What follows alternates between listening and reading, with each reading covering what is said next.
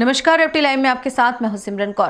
प्रयागराज थाना कृष्णा चौकी, भीरपुर के अंतर्गत कचरी मोड़ के पास ट्रेन की चपेट में आने से युवक की हुई मौत। आपको बताते चले कि आज कचरी मोड़ के पास एक दुर्घटना घटित हो गई, जिसमें कि एक युवक रैली से घर जा रहा था और रेलवे लाइन पार करते वक्त अचानक ट्रेन आ जाने के कारण वह ट्रेन की चपेट में आ गया।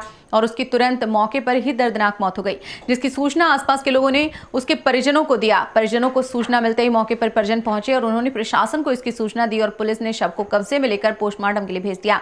युवक का नाम अजय कुमार विश्वकर्मा पुत्र रामलाल विश्वकर्मा उम्र लगभग बयालीस वर्ष बताई जा रही है और उसकी तीन लड़कियाँ और एक लड़का है। जिनमें से एक लड़की की शादी हो चुकी है और एक सात साल का लड़का है और दो अन्य लड़कियाँ हैं।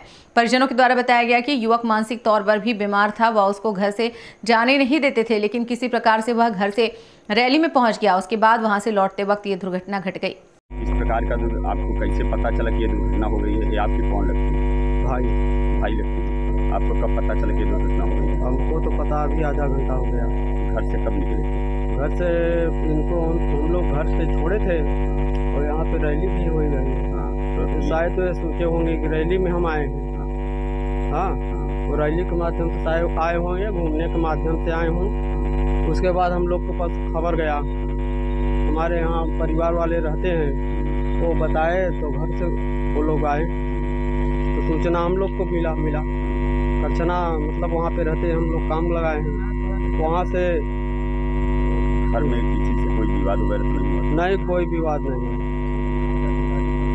दिमागी हाँ एक्सीडेंट हो गए थे उसमें थोड़ा लड़ गए थे मतलब इनका दिमागी हालत में थोड़ा डिस्टर्ब थे। हाँ हम लोग सुई दवाई हम लोग ही कराए थे। उसके बाद इन लोग को बोले घर पे रहिए आप कभी कहीं नहीं जाइए। अजय कुमार विश्वकर्मा।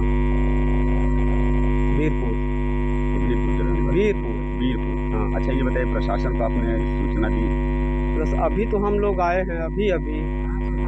प्रशासन को सूचना दिए दी गई है। हाँ, रेलवे वाले। रेलवे रेलवे हाँ। आप अपना परिचय हमारा नीरज कुमार नाम है आप इनके भाई? हाँ भाई छोटा। माता पिता को जानकारी हुई माता पिता माता तो खत्म हो गए हैं पिताजी हैं पिता पिताजी बुढ़े हो गए हाँ। वो कहीं जाते नहीं। कहीं काम वगैरह करते थे पहले काम करते थे अब जब से स्टूडेंट हुए हैं तब से नहीं। नहीं करते। खाली घर पे रहते हैं।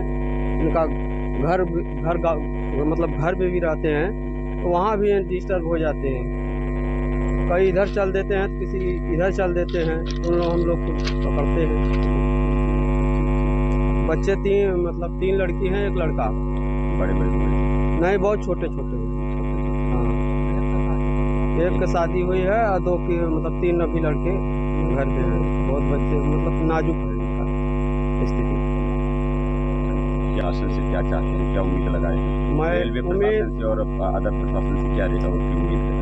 उम्मीद में मतलब हेल्प हो इनका हो हेल्प हो जाए उसके बाद हम लोग को मतलब इनकी अवस्था से सही हो। मतलब मर्डर जो हो गए हैं तो इसमें थोड़ा हेल्प पानी हो जाए कि मतलब कि तीर घर न जाए उसके बाद यहाँ से छूट दिया जाए। रैली के लिए। रैली के लिए। रैली के लिए बता के भी निकले हैं कि रैली हो रही है आदमी से मिले। तो बोले कि हम रैली में जा रहे हैं। और इधर ही बस निकले हैं अब जो जैसा हो। एफटी लाइव के लिए संवाददाता सुशील कुमार की रिपोर्ट।